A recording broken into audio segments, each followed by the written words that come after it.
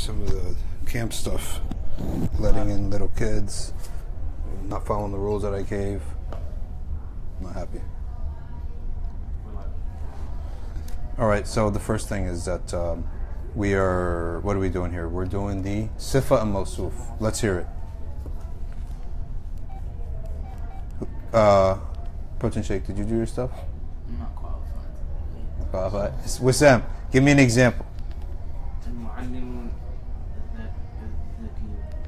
I beg pardon?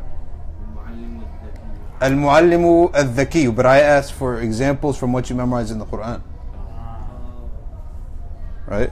We thought you uh, wanted to make the Ar-Rahman al-Rahim. Ar-Rahman Rahim. Good. All right? That's good. And they're in the place of, they are uh, not to what? To Allah subhanahu wa ta'ala right? Which is part of the Jar al-Majroor. Bismillah ar-Rahman ar-Rahim. Right? Next. I gotta think. Gotta think? I don't know. I'm not making the Quran. We got like, uh, how many years of education here? I got one. We got ter- this guy's on a terminal degree. Allahu Ahadu. No? That's a mubtada khabar. Uh, Can you tell me English what you're trying to find? Maybe Noun adjective. noun, adjective. Yeah. Okay. Okay. Al-Ali al-Khabir. What's the whole ayah? Or just the, the beginning? It's the end of an ayah. I can't remember. Yeah, all of those. Yeah. All of those. Right? Wallahu. وهو العزيز الحكيم. العزيز الحكيم. Wallahu al-Malik al-Quddus. Correct. هو الله الملك القدوس السلام والمؤمن والمهيمن. Extra credit for each answer. هو الله الذي لا إله إلا هو الملك القدوس والسلام والمؤمن والمهيمن والعزيز والجبار والمتكبر right and sometimes there's an interruption and then that nat continues okay so basically you get the idea right you get the idea of the sifa masuf you don't need to actually go anymore but you you get the idea of a sifa and the mawsuf so let's open up our risala here and where we left off is at mustaqarrul arwahi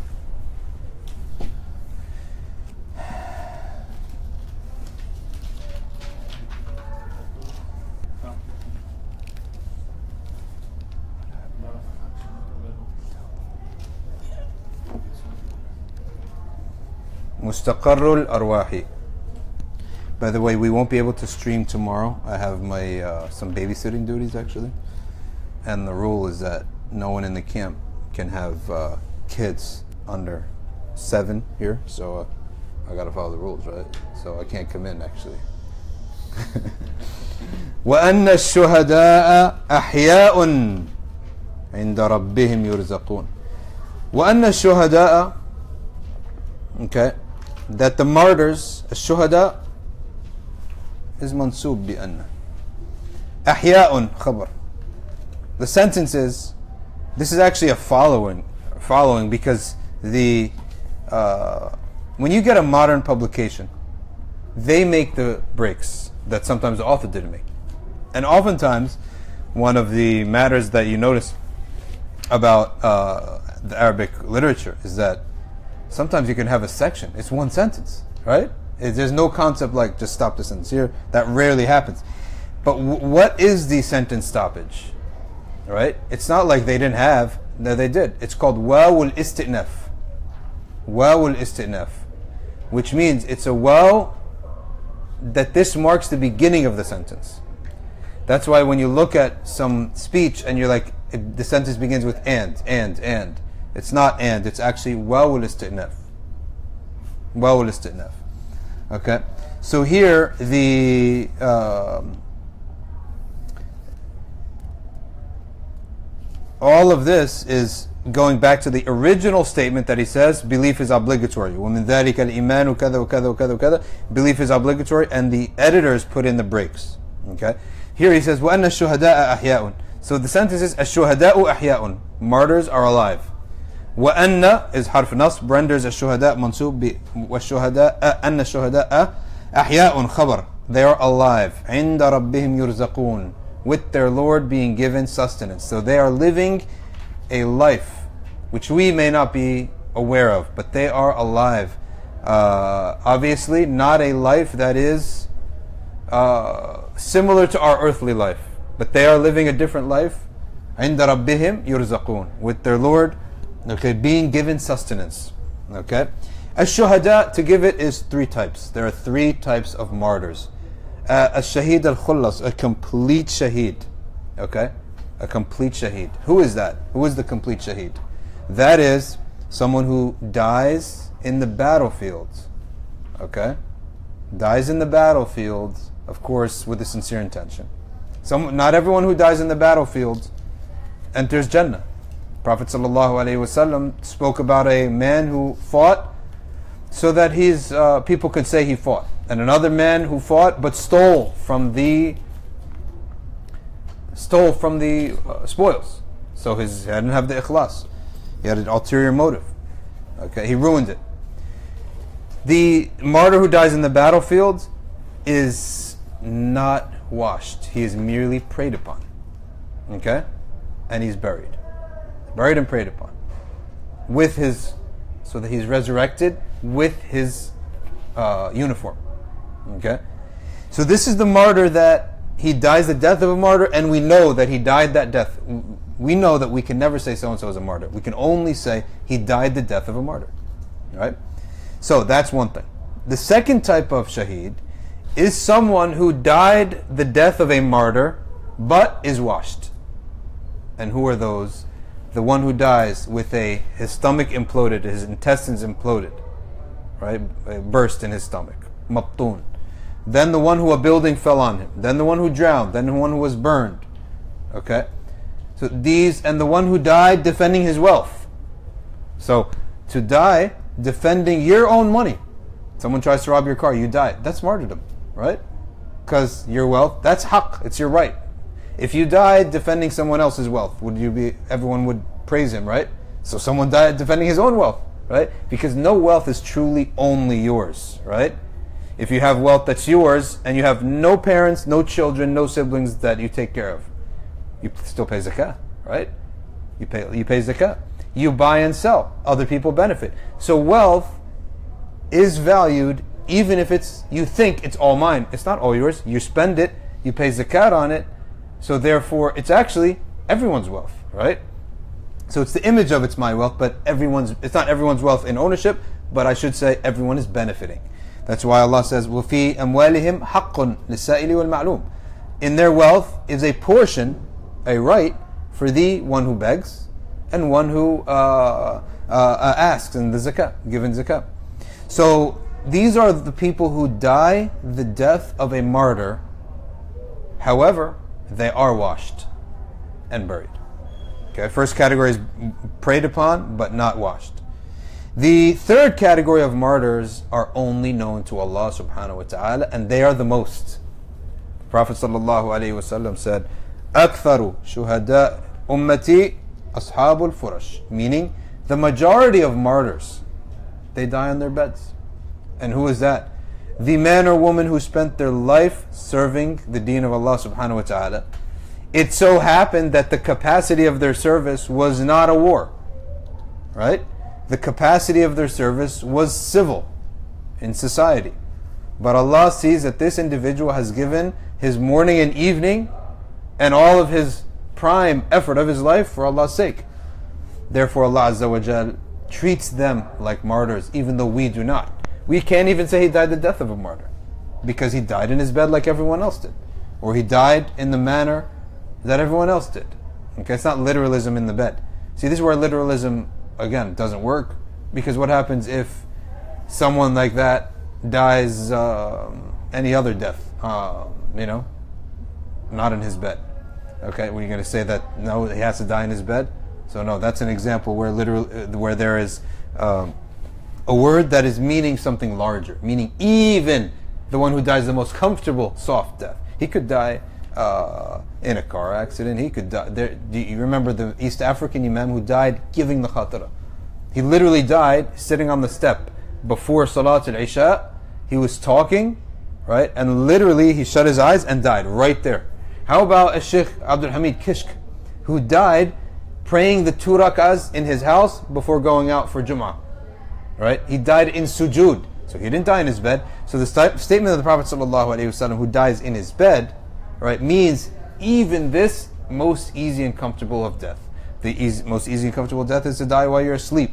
So you go to sleep soundly and you don't even experience any of the pains of death. And Allah Adam, we don't know actually what they experience, but uh, at least for our outward image, it doesn't look like they experience anything. So these are the three categories of the martyrs, of the shuhada.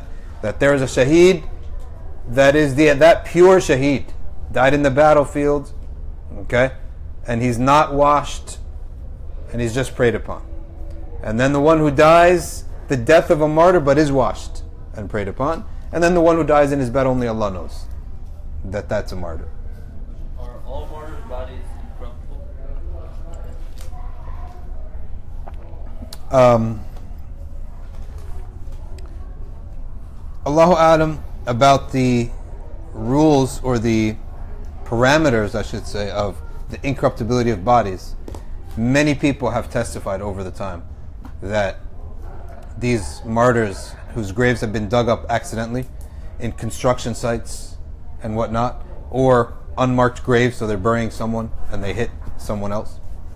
That they, many, many stories that are told that people have seen such a martyr still bleeding. In Medina al Munawwara, when they were expanding the Masjid of the Prophet, the crane, the, the not the crane, the um, uh, caterpillar was digging and it actually hit metal. They unearthed a soldier in armor, bleeding, still bleeding, right? And that's one of the stories that some of the uh, uh, people who can who can be trusted with stories, in other words, like scholars who know how to transmit information and verify it, that they actually that found him, they unearthed him, and they placed him somewhere else. So he was from a bygone era, wearing ar- armor from a bygone era, and the um, uh, machine that was digging hit him, and they saw him. So these are stories, right? So uh, of course the you know uh, authenticity of the stories have to be verified, but there are so many of them that the prophets and shuhada, and of course the siddiqeen is a rank above the shuhada. Right? Quran says, مع النبيين والصديقين والشهداء in order. Nabi, Siddiq, Shaheed. Siddiq is a higher level of a Shaheed. Okay? A Shaheed, he can be a completely normal individual, but in that moment entered the battlefield and died. Or that moment drowned. Or that moment was burned down. or that moment, okay, someone was about to rob him and died the death of a Shaheed. So uh, there are many, there's incident of Sahabi who went in, uh, he didn't even know who these people were at the Battle of Badr, or one of the battles. I can't recall which one. He said, "What's who are these two parties?" They said, "Well, he, this party, is one of a man who claims prophecy, right? And that's his enemies. Those are his enemies." And he said, "Well, what does he claim?" He said that there's one God, that he's the prophet, and that you should keep your kinship ties and eat pure food and not oppress and give charity to the poor. He said, "I believe that." He didn't even say like the technical shahada. Like he just expressed, "I I believe that." So uh, he said they said that he said that uh, and what is he rewarding those who die he said automatic jannah he said so that therefore the what's holding me back from jannah immediately are these dates that he was eating for lunch he threw them ran and died. Never ultimate never said the technical shahada. Never prayed never made wudu. And he's a shaheed right? So he did nothing. So that's why the shaheed, that's his characteristic. The siddiq, however, is following in the hadith of wilaya, which is he uh, draws near to Allah by obligations, prohibitions, the nawafil, and so he's giving his life, right, in, in sanctifying his, his self, in other words, cleaning, purifying his soul. So he's a level above, and they said that as well when some of the graves of such individuals were uh, dug up uh, by accident or uh, for some other reason that they found them intact. Wallahu ta'ala alam. And of course, everything that a Siddiq or a Shaheed will receive in the afterlife, the Prophet will receive more than that, right? Why? By logic. All of the de- if I if someone teaches someone how to recite Quran from scratch, right? And there's no other teacher. Only one person taught him the Quran. Every letter that person recites will be in the scale of his teacher. And then if that person teaches someone to recite, then him and his teacher are receiving that reward, like a pyramid scheme, down. So, who's the first teacher? Prophet right? Prophet Sallallahu So all of the deeds of the ummah are really for him. So all of their rewards are by, by logically he will receive them too. So uh, he will not receive them because they did them. He received them because he taught them. So the uh, Prophet wasallam's maqam is very important to be aware of. Is superior than anything that you read. There's no Muslim who will ever have anything in akhirah that the Prophet sallallahu won't have. Uh, so after death, if the shuhada are أحياء عند ربهم يرزقون Rasulullah sallallahu alayhi wasallam is hayyun inda rabbihi yurzaq, right? Hayatun, right? Yaliqu bimaqamihi, right? A life that is suitable to his maqam, his noble rank. Okay. وأرواح أهل السعادة باقية ناعمة إلى يوم يبعثون. Uh, the people are in, in general divided into two camps those who are felicitous and those who are miserable. Okay? What happens if someone is felicitous but has problems? Like in general, they're happy in the deen, their iman is sound, their ibad is sound, their heart is pure, they or, or, or I should say that their heart is serene, right? They feel the serenity of iman, but they have slip-ups. We call that a nafs al Has slip-ups. So it's pure milk, but there is some defects in it. We call that an nafs al and ultimately sickness. Allah subhanahu wa ta'ala says, sickness, trials, and tribulations before death will purify him of those. Wa arwaha, this word arwah is mansub by anna. The anna, anna, anna shuhada'a, kada kada. وأن الأرواح كذا وكذا. Here you have an idafa.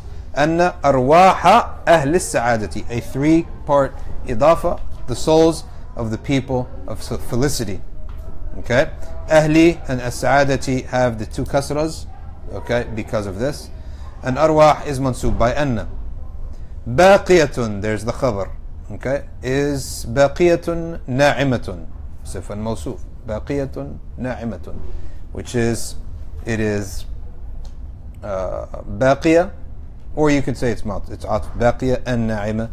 It is alive, okay, remaining. It's not dis- you don't disappear off the face. You don't disappear like you're just non-existent. No, you exist after death. Na'ima, it's enjoying. It's in an enjoyment, a state of enjoyment, of joy. Ila yomi yub'athun, until the day of resurrection. So the paradise of the believer begins immediately upon his death. But it's not the same paradise in two ways. Number one, it's not the paradise of the garden. And number two, it's soul without body. It's a joy of soul without body. Okay?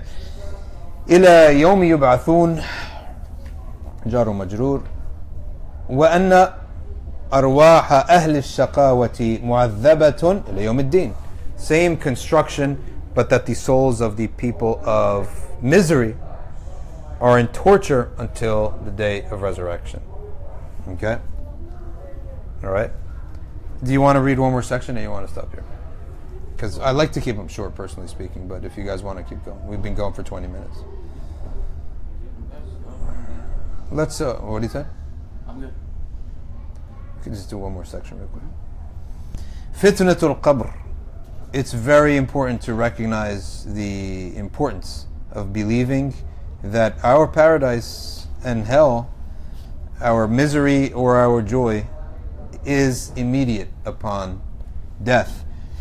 And he says here, وأن المؤمنين again المؤمنون becomes منصوب بأن منصوب to become المؤمنين وأن المؤمنين يفتنون في قبورهم they are tested in their graves okay they are tested in their graves يفتنون في قبورهم ويسألون and they're asked they're asked about as all Muslims are taught, who is their Lord? Who is your Prophet? What is your book? Okay. يثبت الله الذين آمنوا بالقول الثابت في الحياة الدنيا وفي الآخرة. Okay. Allah Azza wa Jal makes firm those who believed. الذين آمنوا بالقول الثابت with the correct answer. Right? في الحياة الدنيا وفي الآخرة.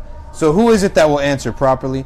The one who answers properly in the dunya. In other words, by having taqwa in the dunya, a person will be able to answer properly. So the idea of the uh, the idea that uh, people will uh, not be will not be asked anything. Why is this part of aqidah? Because some of the Mu'tazila said it's not in the Quran, right? So therefore we won't believe in it. However, uh, it is in the Hadith, okay, and therefore the ulama of aqidah intentionally put in the questioning in the grave for this reason, because uh, some of the Mu'tazila didn't believe in it. Okay, and, uh, these angels are called uh, Munkar and Nakir. Their category. See, for example, Jibra'il, Mikael, Israfil, Izra'il. Those are names. Malik, Ridwan. These are names. Munkar and Nakir, Raqib and Atid are categories of angels. Right? Categories of angels. So there are many. Munkar and Nakir are many. This is one of the opinions.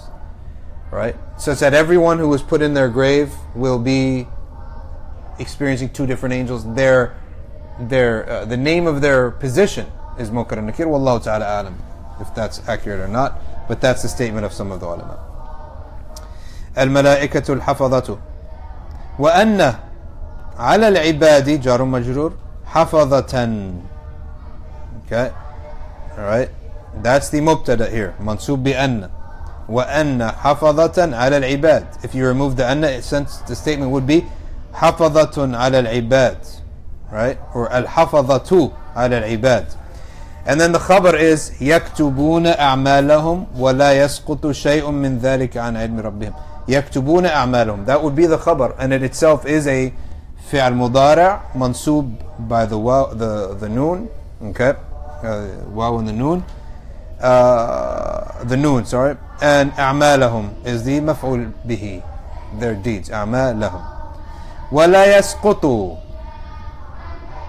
ولا يسقط this is فعل مضارع and this is لا النفي remember we said there's two لا لا that prohibits and لا that negates the لا that prohibits is a جازمة لا تفعل don't do this uh, لا يسقط نفي is a negation does not affect the grammar so the فعل مضارع here stays مضارع لا يسقط شيء فاعل من ذلك جار مجرور عن علم ربهم جار مجرور علم ربهم is مضاف مضاف إليه.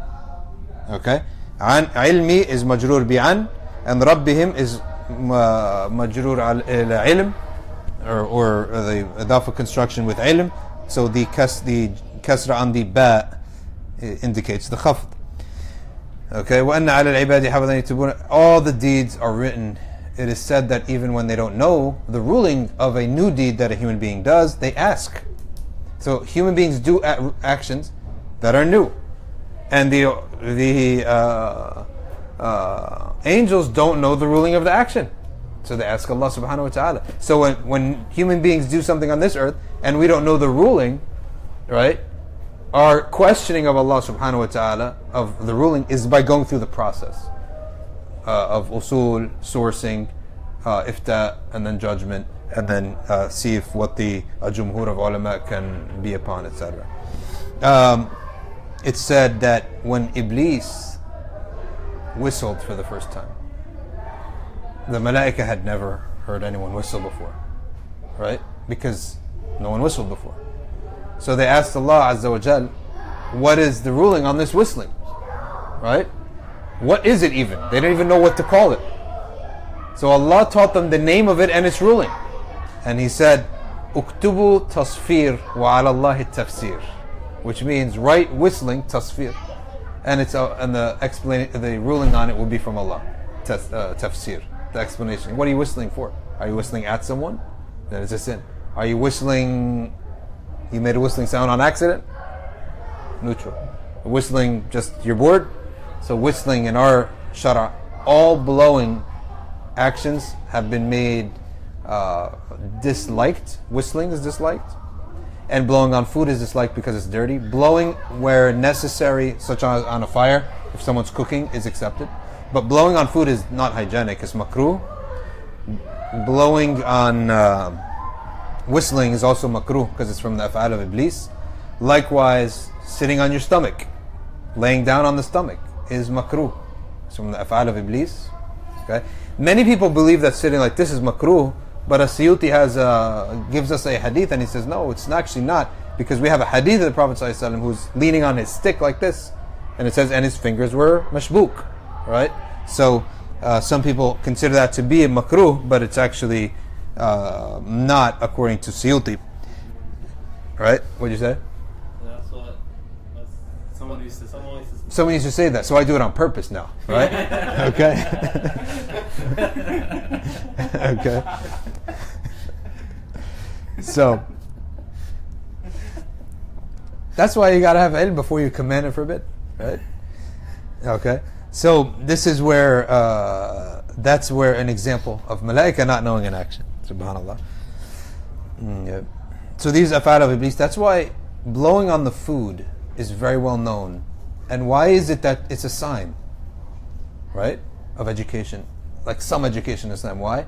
Because any rule that has to do with eating really indicates what kind of background a person has, right? Why? Because you eat every day at the table. And many of the ulama talked about how so much education occurs at the table, eating dinner. Um, I always love the story that a sheikh came, sent his, a, a, a, man sent his son to a tekke, or whatever they call it, in um, Istanbul, where they live and they eat and they study all day and all night. So the, the, the dad came back six months later to ask what his son has learned, right? So he said, Son, what books are you reading? He said, The Sheikh hasn't given me any books. He said, What le- lessons are you attending? He said, I don't attend any lessons. Okay. So he said, Then what do you do all day? He says, I, He's got me in the kitchen. Right? Got me in the kitchen. So uh, the, the man came all furious. I'm, I'm paying you people, right? A stipend here, okay? My son to live with you all. Where, where he's not taking any lessons. You're making him work, right? He says, Yes. You sent me a boy who has no manners, right? So I'm teaching him manners first, right? How am I? How is he teaching him manners?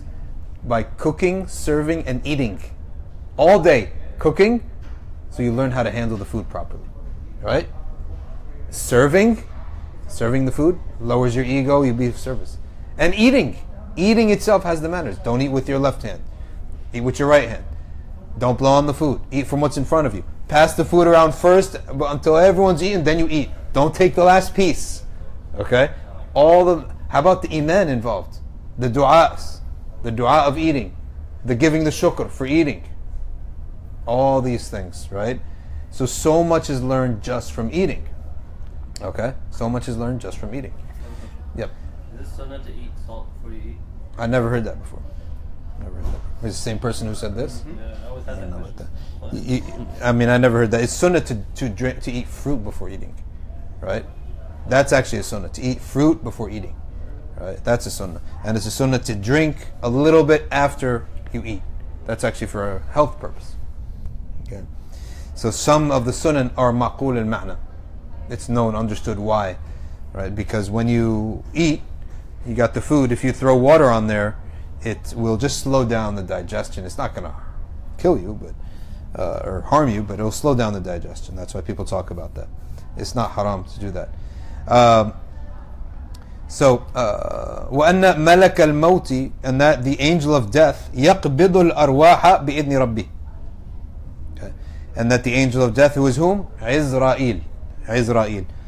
وأن ملك الموت مضاف مضاف إليه right there يقبض في المضارع الأرواح مفعول به بإذن ربه إذني is part of the جار مجرور and ربه مضاف إذن ربه مضاف مضاف إليه Next section is on the Sahaba and I'll give you a story about the Sahaba before we get into it. Imam al-Sha'rani has a book in which he narrates a story of one of the mashayikh of his time. And that sheikh, who he gives his name, had a colleague, another sheikh, who was an excellent man. The man died. And as often happens, so that we can learn, people see their friends and relatives and people in their dreams after their death that gives them some confirmation, right, of the ghaibiyat that we believe in. Okay? And this man, he saw his friend, he was light skinned, but he saw him covered in ash. Right? And he said to him, What happened? He said, what, How did you find is Islam the truth? He says, It's all true. He said, Then you practiced it. So why is there ash all over your face? Then he whispered to him. He said, I used to compare and prefer some Sahaba over others. Right? And talk about them in this manner. I used to compare them. Right? So, in this sense, Imam Sha'rani has a chapter in the Adab of Companionship, which I'll be teaching in Istanbul, which will also be uh, packaged as a pre recorded uh, item and he said that um, that chapter says the prohibition on comparing Sahaba, right? Comparing, he's a prohibition on comparing the Sahaba, much less disrespecting them, right? Why? The Sahaba comparing the Sahaba and not all you could do is state exactly what the Prophet said. That's it. Why? Did the Prophet have books? What is the product? What did the Prophet ﷺ produce? He didn't. Did he build homes? No. Did he build masajid? No. What did he, What is his? What is his the athar of the Messenger ﷺ? Is the men, the Sahaba. So in judging the Sahaba, in comparing requires judgment. In judging the Sahaba, you're actually judging the Prophet. Just if I say, if Hamza wrote two essays and I say this one's better than this, right? What am I judging? I'm judging Hamza, right? I can we can judge equals. You can judge any person you want. Doesn't have to mean anything, but you can. You can't judge the Messenger of Allah right? You cannot judge the Messenger of Allah. So by judging the Sahaba and comparing the two and saying this is better than this one, you are actually passing a judgment on the work of the Messenger sallallahu alaihi wasallam, right? So the, the Sahaba are his fruits. Sallallahu ta'ala ala Sayyidina Muhammad wa ala alihi wa sahbihi wa sallam. Alhamdulillah rabbil alameen.